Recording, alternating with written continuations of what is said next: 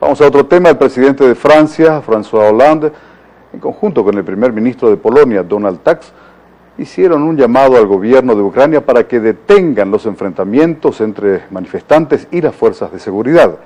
Durante una conferencia de prensa, Hollande y Donald Tusk manifestaron que están dispuestos a prestar colaboración al Ejecutivo ucraniano para que éste firme el acuerdo de asociación con la Unión Europea.